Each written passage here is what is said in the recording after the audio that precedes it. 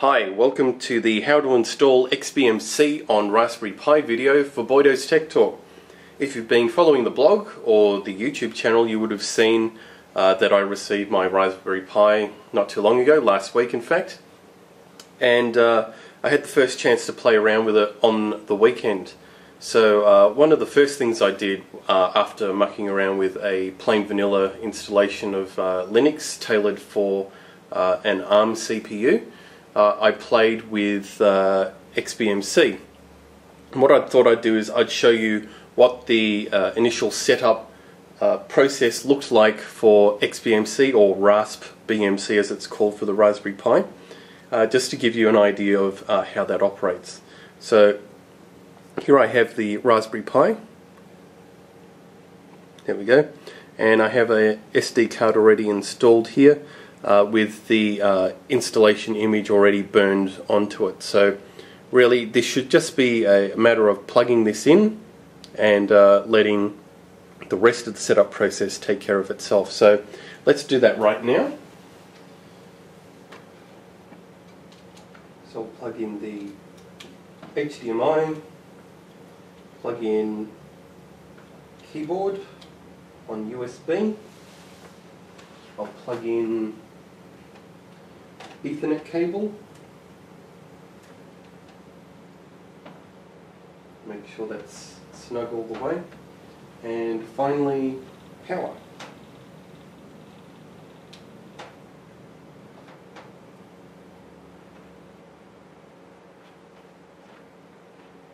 And we'll just see what happens here.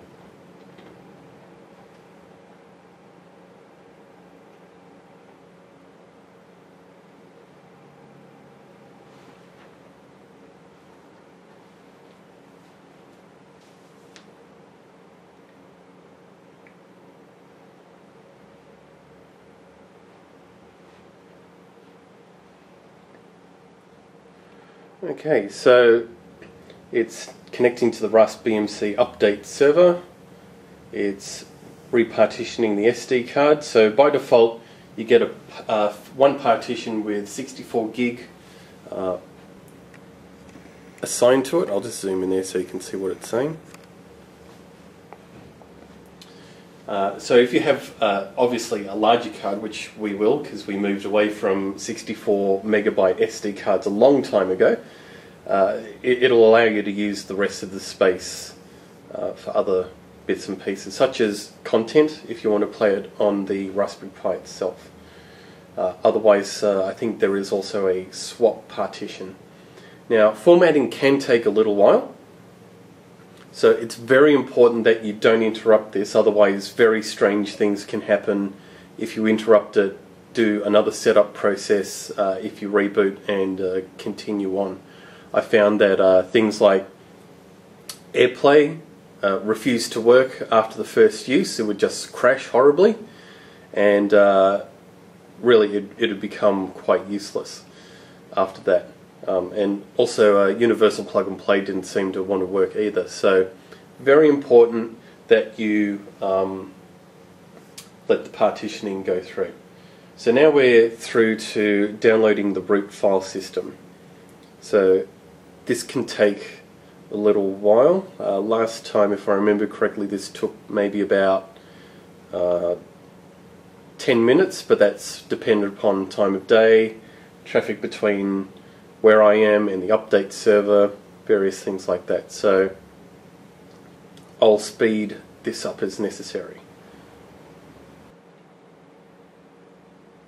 Okay, so that's just taken about 12 minutes there to download the root file system.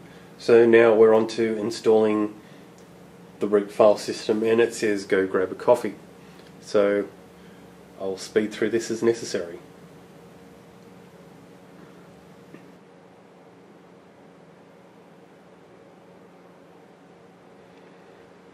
Okay, so the root file system installation just took under two and a half minutes. Now we're downloading the kernel and bootloader.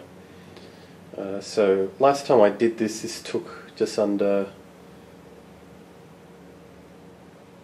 could have been two minutes, but we'll see how long this takes.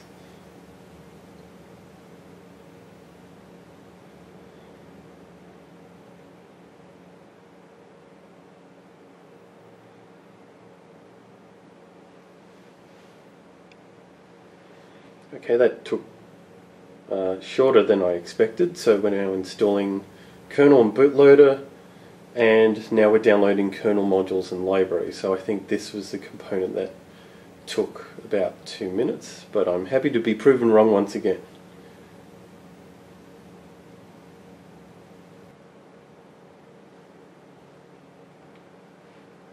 Okay, so we're now installing kernel modules and libraries.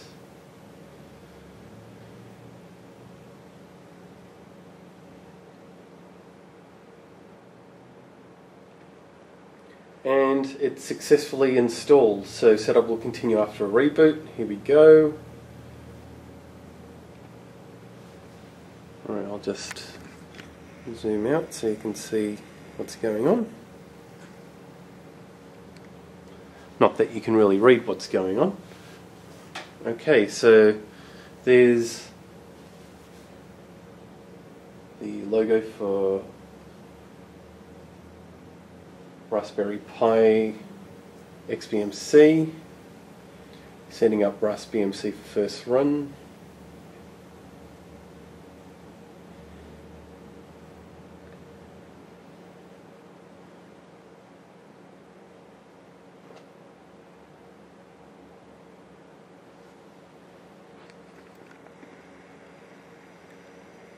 Let's zoom it in again there for you. Updating service management.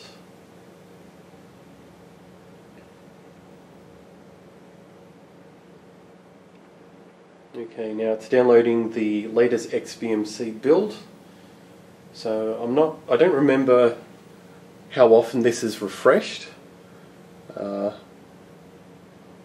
but it's uh, not a bad thing to get the latest build. So that's going along there. So at the current rate, that'll take about a minute and a half to finish. So I'll just speed this up for you. Okay, so we're just at the end here of downloading a new XBMC build, 99%. Now we're updating XBMC.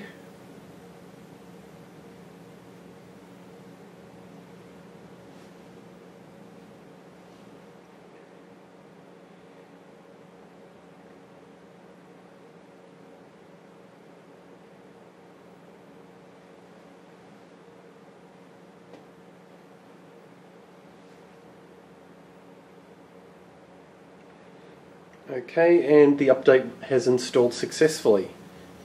So we'll just wait for it to boot up. And I'll zoom out again.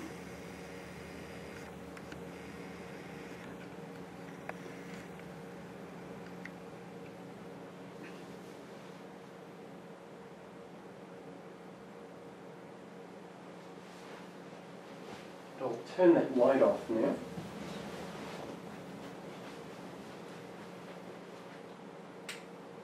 There we go.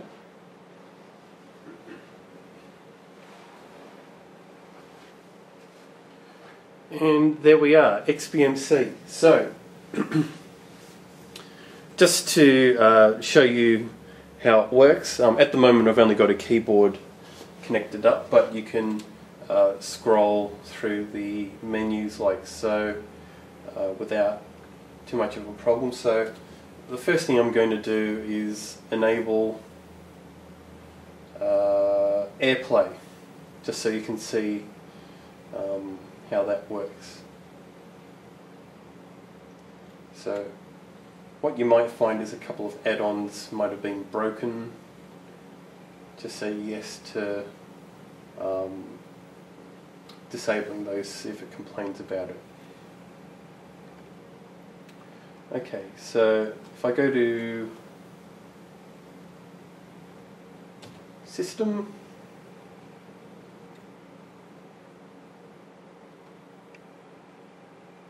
in fact no, I wanted services, so we'll go back to services.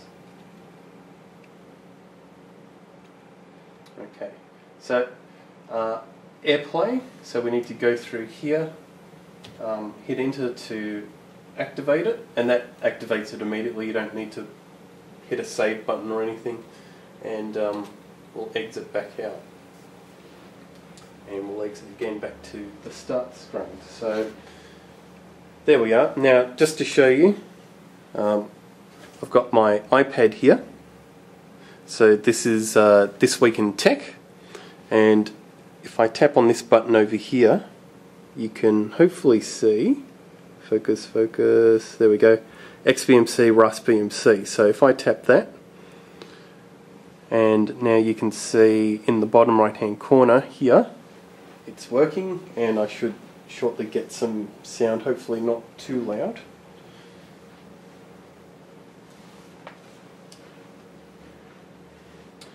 Let me just dial that back a bit. Okay, and I'll just hit the play button. It's time for Twit, the biggest news of the decade for Microsoft. A brand new tablet, new Windows Phone. We got a lot to talk about in a great panel. This Week in Tech is next. And if I want to pause, Nick. there we go. Pause, play. From people you trust. Can't do fast forward, it doesn't look like, but This that's not not too bad at all. Audio. So uh, there we go. That's um, AirPlay. And uh, I exit out of that, and uh, you you can always set up um, other bits and pieces as well. So um, I've got to get universal plug and play set up properly on my network, um, so I can't show you that. But out of the box, you know, you, you can see that AirPlay is fairly simple to enable. So there it is. That's the how to install XBMC on Raspberry Pi uh, for Boydo's Tech Talk. If you found this video useful, just make sure you give it a thumbs up. If you've got any questions about XBMC for Raspberry Pi, uh, Raspberry Pi itself, or anything related to those two things, just drop a comment down below. I'll do my best to try and answer it for you. And uh, stay tuned uh, for the review video as well for the Raspberry Pi. Uh, but having said all of that, as always, thanks for watching.